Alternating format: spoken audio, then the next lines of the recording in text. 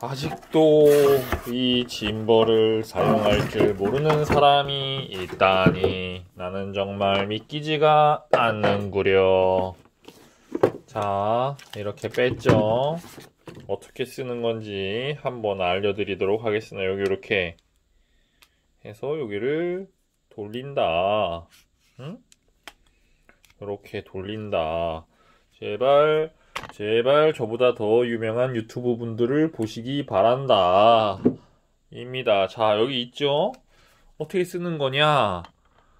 이게 왜 불량이 아니라는 건지 잘 모르겠다. 이거 아닙니까? 그죠? 자, 요렇게 했어. 그죠? 자, 핸드폰을 끼운다.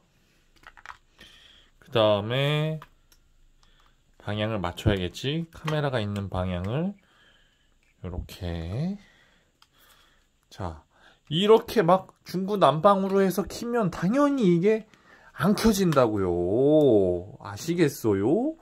자, 얼추 수평을 이렇게 핸드폰의 무게감을 맞춰준 다음에, 어? 자, 얼추 수평이 맞았잖아.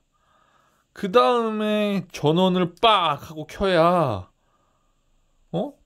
되잖아. 되잖아.